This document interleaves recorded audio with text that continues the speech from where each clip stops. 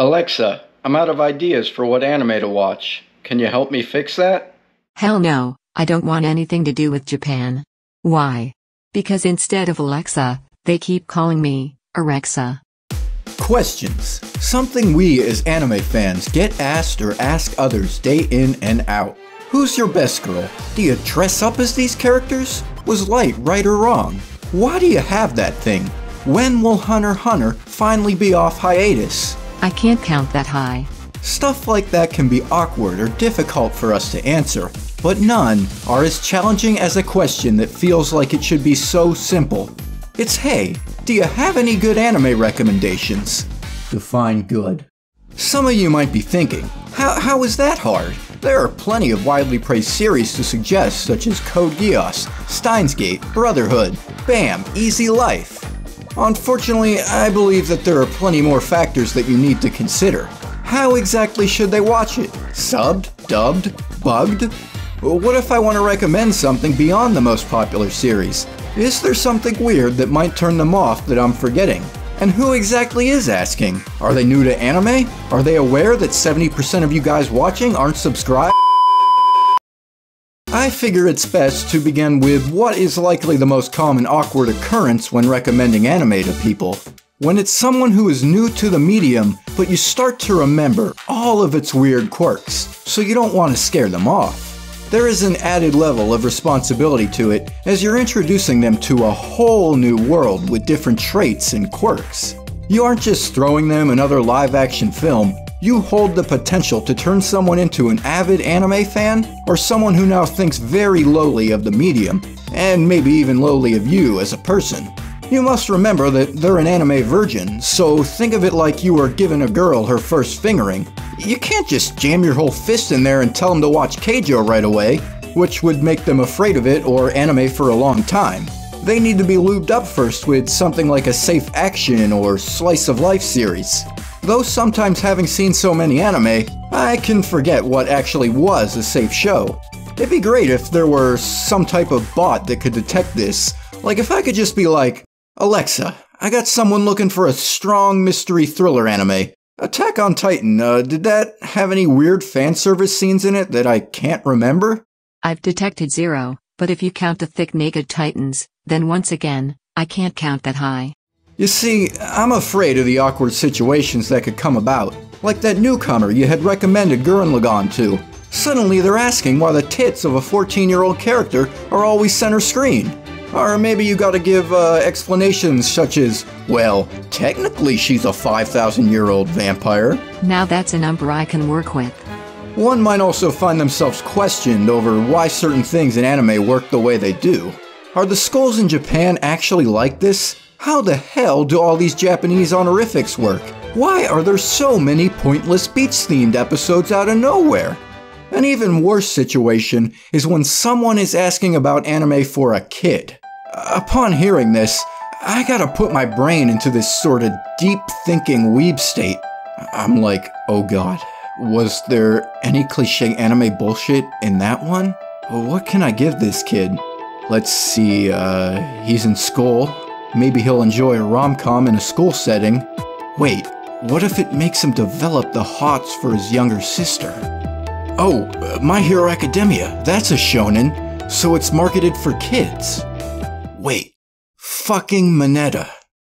All of this nonsense is probably why you'll see so many people resorting to the same safe recommendations over and over. Of course, what I've mentioned so far aren't the only challenges that suggesting anime poses. The main casts of so many shows are kids, when they don't necessarily need to be. While I enjoy many of them, there's unfortunately a lack of notable series focused on older characters. When someone asks me, Hey, you know anything with a main character who's going through a midlife crisis? Man, I, I don't know. The sick high school girl in Clannad because she's gonna be dead in a few years? Plus, with all these kid characters, there are so many of them that begin and remain massive pussies for a long time, which hinders a lot of shows that are otherwise good. Listen to me, Eddie. Eddie, it's gym class all over again! Anyways, many people have said, don't judge a book by its cover. But with anime, you must tell people, don't judge a series by its title. There are so many series with miles long titles that you're gonna have to tell someone. Combined with the fact that we might be bad at pronouncing some of the words, I'll sometimes forget what the show I'm watching is called, even if I'm fairly enjoying it well. Yo, dude, you should watch this dope anime that's currently airing. Oh, yeah? What's it called? Uh, I, I forget, but there's uh, this chick with nice tits who dresses up in stuff. Then you've got series that can't seem to make up their mind about how to name all their different seasons, rather than remaining as one. Big Butts Season 2, Big Butts Season 3 Part 2, Big Butts Re, Big Butts Final Final Season. It's like an artist or video editor who keeps mistaking when they're done with their project file names. All in all, it's another layer of BS that you gotta explain to someone when getting them into certain anime. Speaking of BS, have you ever attempted to make a friend watch stuff like the Monogataris or the Fate franchise? Explaining where exactly they should start or the best order to watch them in can seem tedious. I'm still not completely sure myself even after watching them.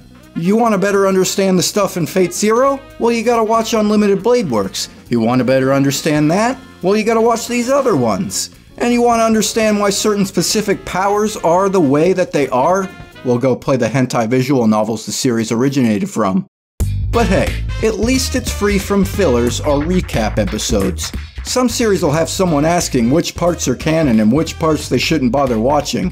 Naruto? You gotta be like, okay, skip those 30 episodes, don't bother with this entire arc, and then skip these next 50. You might as well just whip out a Ninja Uno deck composed entirely of skip cards to never let them have a turn. So many shows last forever, like Naruto 2. One Piece? You might as well tell them to die of old age. A lot of them never seem to finish either. No Game No Life? No Game No Life because you'll be dead by the time it gets a second season.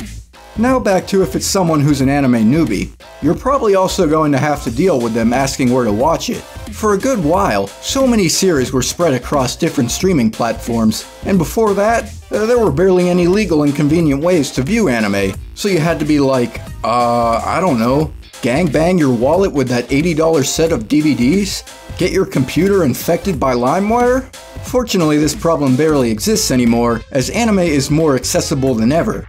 One unfortunate thing that still remains with these services, though, is that you'll be telling someone to watch a version of some shows with bad censorship or poor localization, but hey, maybe that's a blessing in disguise because you don't want Jotaro's cigarette turning kids into chain smokers.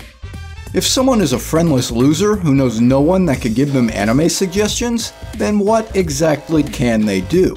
Well, there are a decent amount of popular anime websites or forums through MyAnimeList, Crunchyroll, or various anime subreddits. One thing I've sadly noticed with them, however, is that the same mainstream shows seem to be getting hoard out over and over. If you lack the anime knowledge to make more specific requests, like looking for an anime that's similar to blank, or something with a certain anime trope, it can be difficult to get things beyond the most popular stuff. And along with these request topics, there will always be that one asshole out of nowhere going, Boku no Pico! Or some dude who aggressively suggests nothing but JoJo. Watch JoJo you pussy or I'll set the fucking thermostat to 500 degrees.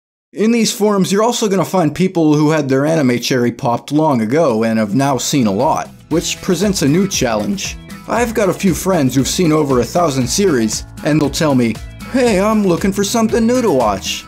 And I'm like, shit, I don't know, bro. What time is it? Time for you to not get a watch? They've grown quite tired of all the cliches in anime, so they might be looking for a show that's lacking them. Their requests can also get super specific. Alexa, I'm looking for an isekai MC who isn't a little bitch, doesn't get hit by a truck, doesn't start or become super OP, doesn't have a generic anime haircut or harem, and can also squirt milk out of their belly button. I, um, I know I've ragged heavily on the nature of recommending anime to people, but it does indeed have its benefits.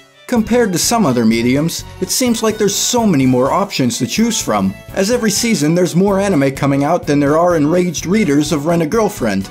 Meanwhile, the animation generally appears miles better than a lot of American cartoons. And don't even get me started with live action. Why bother telling someone to watch a Nickelodeon show about high schoolers when the high schoolers in anime can have head movement like this? With America cartoons, it also feels like a decent majority of them are solely intended for comedic purposes. But with anime, many of them exist to be watched for reasons beyond that. You can share one to make someone experience a moral thriller or find a newfound interest in a sport. You could make them appreciate the simpler things with a slice of life series, or have them feel better about their dick size through a self insert power fantasy. You can turn a girl into someone who won't ever shut the fuck up about gay dudes. You can put them in the shoes of a predator or have them watch a harem anime so they cheat on their wife. You can tell them, hey, don't watch that Euphoria trash. Watch the original. You know what? On second thought, anime fucking sucks. Go watch SpongeBob. Aye aye, Captain. Hey, what is cracking Booty Brigade? Hope y'all enjoyed that one as usual.